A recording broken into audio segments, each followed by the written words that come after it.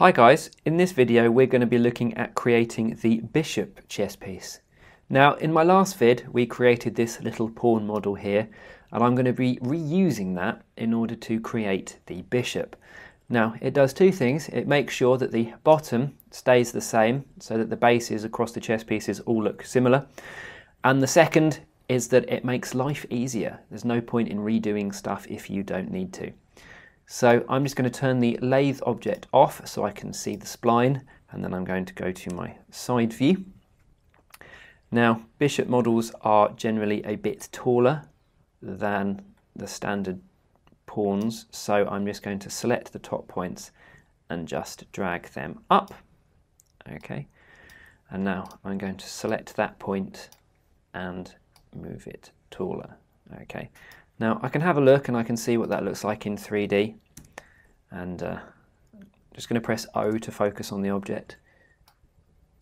We can see that we've got some of that, but I'm just going to adjust the points a little bit. I'm going to go back to my side view, turn the lathe off. I'm going to focus in on here and then I'm going to edit the spline. So by being on the move tool, okay, and on points mode, if I control click, that gives me another point that I can move and play with. Okay, so I'm going to want a couple more, so I'm just going to move that one even taller. Okay, and then I'm going to create another one there and I'm going to move it out. Now I'm going to use, oh, whoops, the move tool. I'm just going to create that little sort of nose that I always think, or the top of its hat, I guess, so that I can get that shape. I'm just going to bring that out.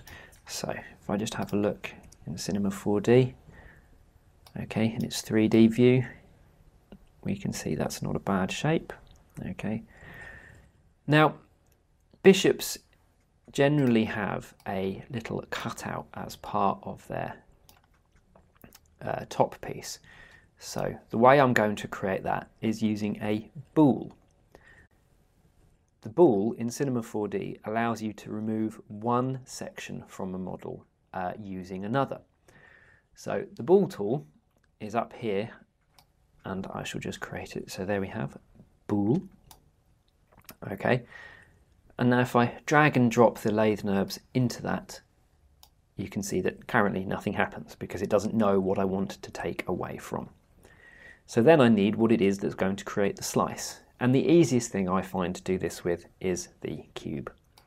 So I'm just going to create myself a cube and then go to the Objects Manager to make sure I can access its handles.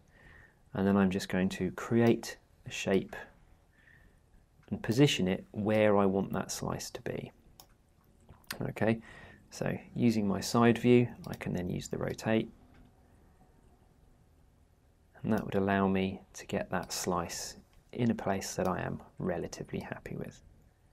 Okay, so just going into the 3D view, you can see that that currently goes all the way through.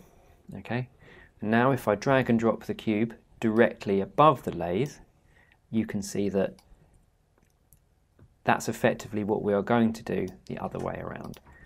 So if I drag the lathe above the cube now and reorder, we end up with the cut out of our main lathe NURBS and that gives us our overall shape.